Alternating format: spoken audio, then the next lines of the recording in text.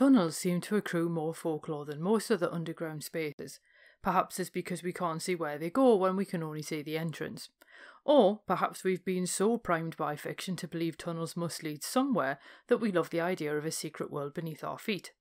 Some tunnel legends are common and appear all over the British Isles, with people attempting to explore them and vanishing during the effort. Others are mere rumours snaking beneath city centres to connect churches with other buildings. But is there any truth to these stories, and why do we seem so attracted to legends of tunnels? Well, let's examine some examples of these stories to see how they work in this week's episode of Fabulous Folklore. Hello there, and welcome to Fabulous Folklore, the podcast for all things folklore, occult, and just a bit weird. I'm your host, Icy Sedgwick, blogger, fantasy author, and your guide into these rather mysterious realms. I've got some rare things to show you, so come on in, take a look around, but be careful not to touch anything. These things sometimes bite. Well, hello there, and welcome back to Fabulous Folklore with me, your host, Icy Sedgwick. How are you? And I do mean that. How are you doing? Are you enjoying November?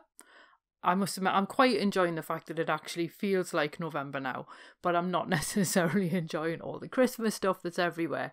Although, and I will make this my last introduction thing before I crack on with the episode, I did get the best Christmas decoration pretty much ever because I was at Newcastle Cathedral and I ended up buying a Christmas ornament, which is essentially like a woodcut bauble with laser cut type things on it, and it's of the vampire rabbit. And we all know how much I love the vampire rabbit of old Newcastle. So that is going to be hanging on my Christmas cactus this year because essentially, and I won't bore you with the details, but we haven't actually got the space to put the proper Christmas tree up now ever since I brought my three cacti home from work. So I now just decorate them instead. But yeah, so I have a vampire rabbit decoration for my tree or cactus, which I'm very excited about. But I won't be decorating it until December because obviously that's when Christmas is. Anyway, we're going to continue with this month's theme of subterranean folklore, and obviously, so far we've looked at smugglers' caves in the northeast, and last week we did catacombs. And apparently, Aaron from the Appalachian Folklore podcast loves the way I pronounce catacombs. I'm pretty sure some people pronounce it catacombs, but that just doesn't seem right to me, so I thought I'll just pronounce it the way I always have. So, this week we're doing tunnels, mostly because I wanted to cover the first story that we're going to look at, which is one of my favourite legends. But it's also because tunnels have that weird sort of vibe to them where, because we don't always necessarily know if there are tunnels down there, if there are tunnels, where do they go? And obviously, bear in mind, I used to live in London, and when you look at all the stuff that's under the city, it's like the idea of having a secret network of tunnels wouldn't be at all surprising. So, we are going to start off with the Royal Mile Tunnel, which is one of my favourite Edinburgh legends, and as you might imagine, it involves a tunnel. Now, according to the legend, this tunnel ran beneath the Royal Mile. So, if you're not familiar with Edinburgh, that connects Edinburgh Castle on the rock all the way down to Holyrood Palace at the bottom. And many centuries ago, builders working on Edinburgh Castle's defences found a tunnel where they didn't expect to find one. It cut down into Castle Rock with unnaturally smooth sides, and some of the other builders thought that it might have actually been the work of fairies. Because of that, they wanted to cover it back up again. Now, one of the castle's pipers came over to see what was going on, and he spotted the tunnel. He ignored the workers' warnings and then headed down into his tunnel with his pipes, and the workmen could follow the sound of his bagpipes down the Royal Mile, but then the music abruptly stopped at the spot where you now find the Tron Kirk.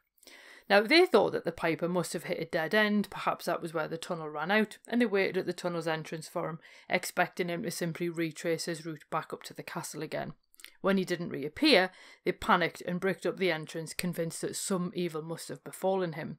And according to the legend, you can still hear the bagpipes on quiet nights tracing the route beneath the Royal Mile until they stop beside the Tron.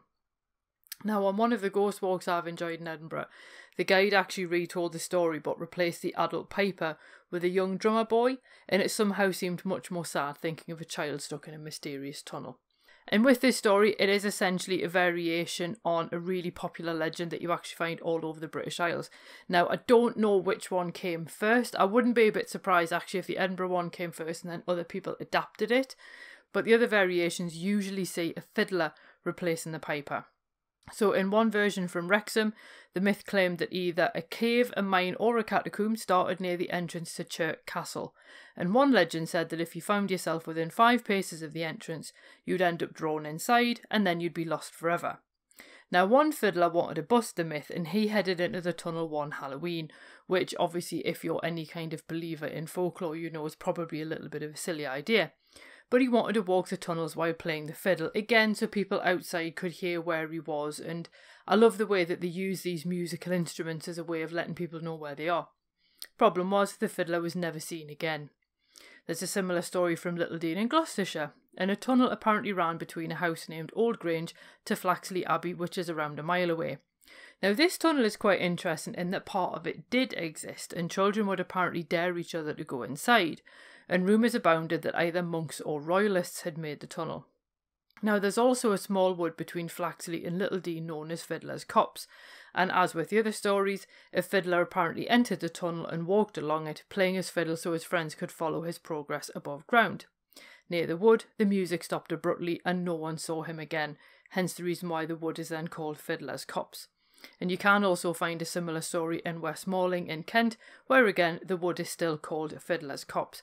Now, part of it always ends up making me think of Fiddler's Green from The Sandman, and I've no idea if that was what Neil Gaiman had in mind when he named the character.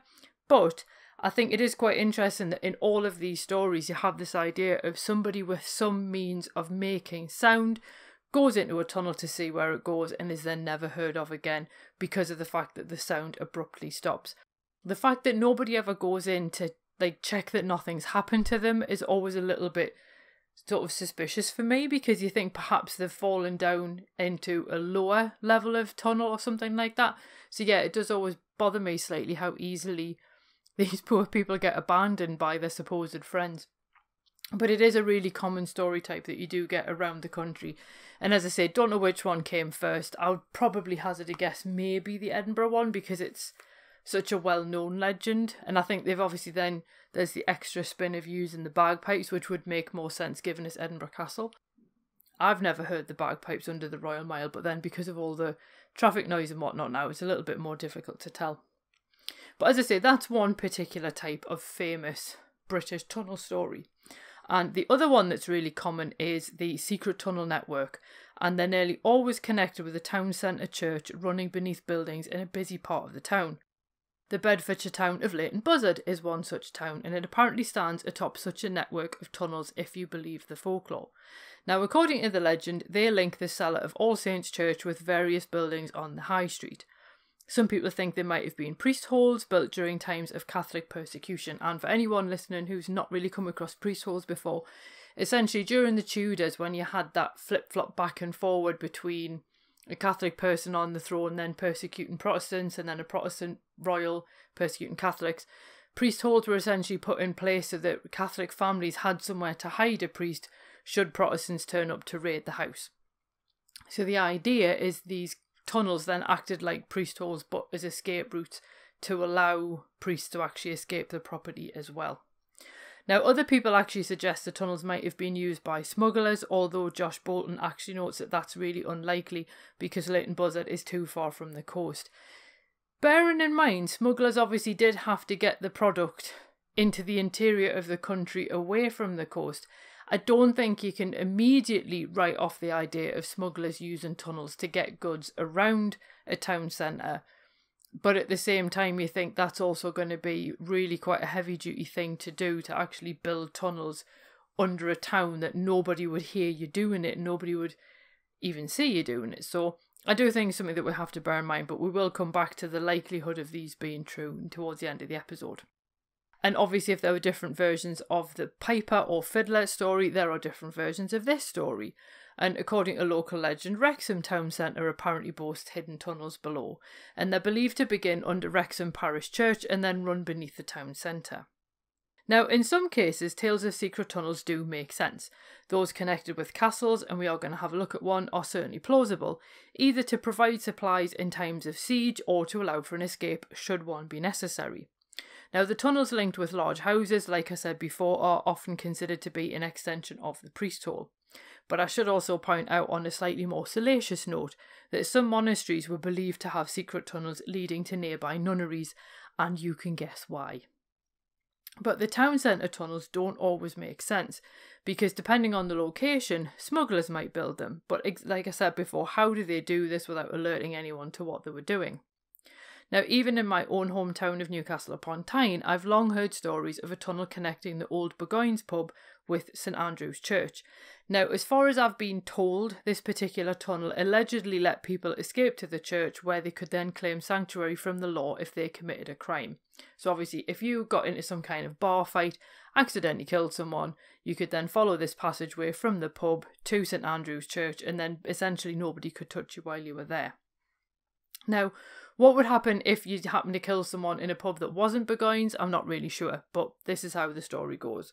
And Burgoyne's no longer exists, and the extension of the Eldon Square shopping mall now stands on the site. So even if there was a tunnel, I doubt it leads anywhere now. But it does lend a slightly different aspect, I think, to a lot of these town centre stories because of the fact that you often see people saying that the tunnel starts at the church, but how do I know that we've not got that backwards and the tunnel might actually end at the church? And again, it might simply be to provide some sort of secret getaway in the need of sanctuary needing to be sought. I don't know. But Jennifer Westwood and Jacqueline Simpson note the commonality of these stories, and in some variations, part of what looks like a tunnel still remains. That's what fires everyone's imagination up that, oh, there might be a tunnel there. But unfortunately, it often turns out to be something very unglamorous, like a sewer or part of an ice house. But still, the imagination is a wonderful thing. And in one of the sources I was reading, there was this suggestion that in the days before people really understood what an ice house had been used for, it's entirely possible that someone may have stumbled across the entrance to one and thought, ooh, that looks like it must lead somewhere, and assumed it was the start of a tunnel when it wasn't, it was actually an ice house. So, again, that's a possibility. But like I said before, some castles do have tunnels, and it's understandable why they would do. And in the case of Dover Castle, it has rather a lot of tunnels. And if you do get the chance to visit Dover Castle, I would highly recommend it because it's really interesting. And the tunnels themselves, because there's like two different types you've got the Napoleonic ones and you've got the wartime ones. It's just quite interesting to sort of see how they all fit together and so on. Slightly side note, the same architect designed both Dover Castle and Newcastle's Castle Keep, and it's really interesting that you get some of the same design features across both of them, but highly recommend it for a day out if you're in the area. But we're talking about tunnels. So, according to legend, there was a drummer boy who actually met a murderous end in the 18th century tunnels during the Napoleonic Wars, although he now patrols the battlements as a headless spectre. If you hear his drumming, it apparently foretells war. And if you ever saw the special episode of Most Haunted that they actually did live, I think it was from Dover Castle, I think Derek Acorah claimed he could see someone marching around behind a vet on the battlements. So whether that was our headless drummer boy or not, I can't remember. But he's one of the more famous phantoms of Dover Castle. And people have actually claimed to see ghosts in World War II garb in the wartime tunnels. Now, other people have actually heard screaming and cries, down in the wartime tunnels, and this is actually hardly surprising since those from the Dunkirk landings were actually brought here. So they are sort of spaces associated with, for example, wartime, but also the aftermath of war as well. So people have heard all kinds of sounds like a battle's actually raging and things like that. So either the tunnels have potentially soaked up the atmosphere from this, or it's just very evocative for people of what it must have been like at the time. That being said, according to property steward Gavin Wright, one man on a tour of the wartime tunnels suddenly fell to the ground.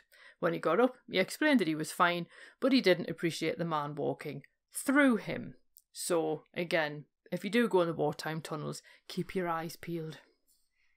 And again, elsewhere, some tunnels clearly do exist. And obviously, there's the tunnels of transportation networks, and there's already the episode about the legends associated with the London Underground. And I know that obviously, where the Underground's concerned, most of the stories are about the trains or the platforms, because they're the bits that the public can access. But there's long been loads of urban legends about like people living in the tunnels and things like that. So things like that, where we know that the tunnels exist because we actually travel through them, do have a slightly different kind of urban legend associated with them. But one of the tunnels I want to have a look at is Box Tunnel in Wiltshire, and it's actually amassed more folklore than most. Now, it was built by Isambard Kingdom Brunel, and a popular legend claims that Brunel built it on a particular alignment so that the rising sun would shine through it on his birthday, which is April the 9th. And Great Western Railways actually tested the theory on April the 9th, 2017.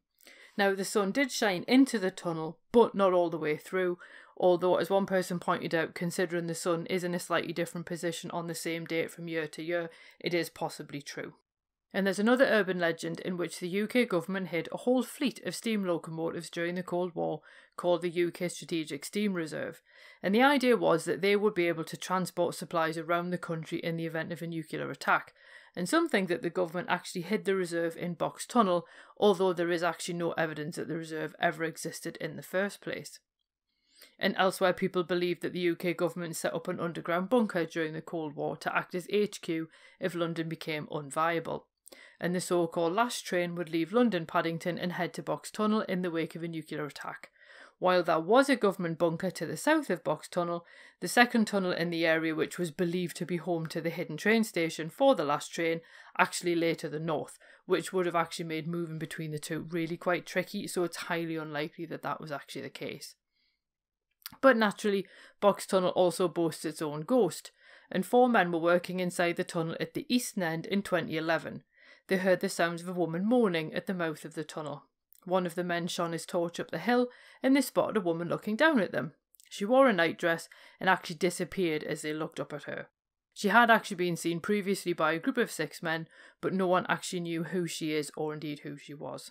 If you are interested in such railway folklore, then I do actually have a whole bonus episode about railway legends available to Patreon supporters at the £3.50 a month or more tier. There's a whole bunch full of things like that on Patreon. So ultimately, what do we make of this folklore of tunnels? Well, the problem with some of these tunnels is we don't know if they existed or not. And without evidence, one way or the other, it is quite tempting to assume that there must be some truth to the rumours, that age old no smoke without fire kind of approach. But we do need to bear some practicalities in mind, and the Brownhills Bob blog actually makes an excellent point about the likelihood of secret tunnels because the tunnels aren't actually particularly easy to build, they would be expensive to build, and depending on when they were built, the technology might not even have been up to it. So, from a rational, financial, and practical point of view, it's unlikely that the tunnels exist where there is no evidence for them. Of course, we do have the tunnels such as Dover Castle's tunnels or the Box Tunnel. Obviously, the question here is not whether the tunnels exist, because we know that they did, but we're more bothered about what actually happened in them. And it's perhaps unsurprising that legends and conspiracies combine to add flavour to the history of these spaces. And I think part of the problem that we then have with spaces like this is it's quite easy for conspiracies to fill a gap around something. So Dover Castle's slightly different because the, the stories related to the tunnels there are pretty much straightforward ghost stories. And you get those with castles all over the country, indeed all over the world. So they're just located in the tunnels for various reasons. But when you look at the box tunnel stories and how they kind of veer off into conspiracy, I think part of that is because it is a slightly unusual tunnel.